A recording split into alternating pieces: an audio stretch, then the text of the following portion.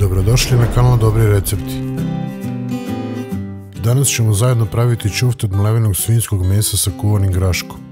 Za ove čufte pripremite pola kilograma mlevenog svinjskog mesa, 100 grama prezli, jedan crni luk srednje veličine, 4 čena belog luka, malo soli i malo bibera po ukusu. Isjeckajte luk sitno koliko možete. Tako. U jednu veću činiju stavite mleveno meso. Izdubite ga na sredini da ga lakše sjedinite sa ostalim sastojcima. Nakon toga sipajte sve ostale sastojke i koristite najbolji alat koji imate, a to su vaše ruke. I sjedinite sve sastojke u jednu kompaktnu masu.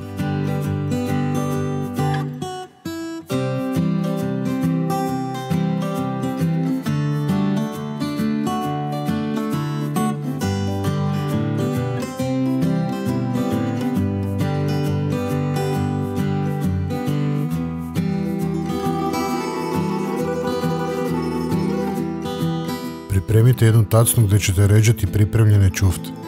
Možete staviti papir za pečenje i malo pospite brašno na taj papir kako se čufte ne bi lepile. Pravite čufte tako što ćete određenu masu uzeti u ruke i dobro je sjediniti i nakon toga je utopkati da dobije ovalni oblik.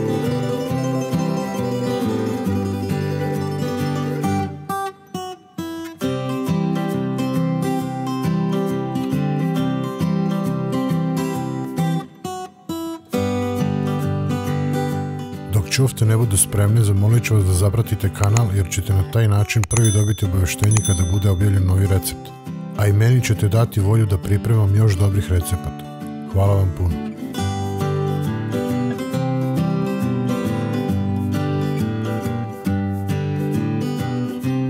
Kada su čufte spremne, sipajte ulje u tiganj dovoljno da prekrije cijelu površinu tiganja i zagrite ga na srednji jačinu.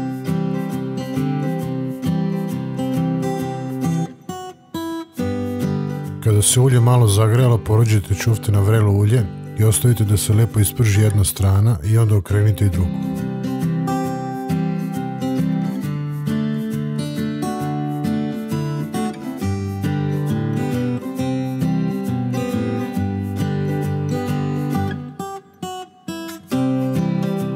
Pripremljene čufte odložite na tanjer pa ćemo da krenemo sa pripremanjem kuvanog graška.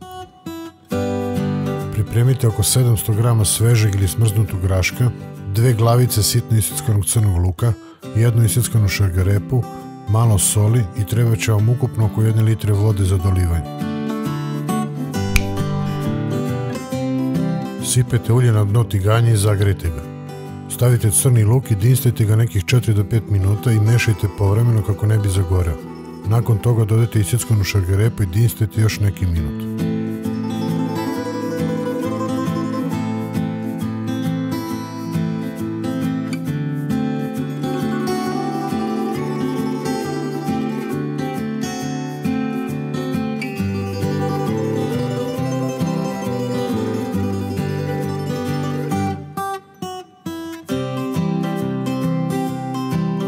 Nakon dinstanja sipajte grašak i dolite otprilike 2 dl vode. Promešajte i ostavite nekih 15 do 20 minuta da se krčka na srednjoj temperaturi.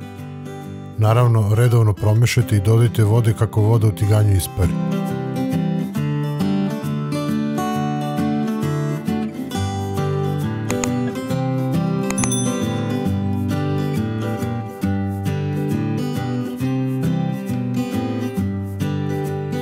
Nakon 20 minuta krčkanja dodajte 3 supene kašike brašna. Dobro promešajte, dodajte vode i ostavite da se krčka još desetak minuta. Obavezno mešajte jer nakon ovog dodavanja brašna može lakše doći do zagorevanja. Na kraju sipajte so, promešajte dobro i vaš grašak je spreman za serviranje. Od ove mere dobit ćete otprilike ručak za 4 osobe. Prijatno!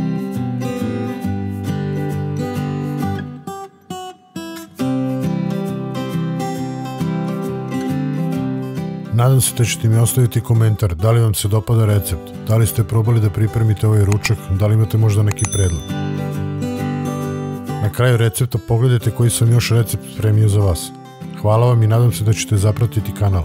Možda podeliti recept sa vašim prijateljima, dati like receptu ili možda neki komentar. Hvala.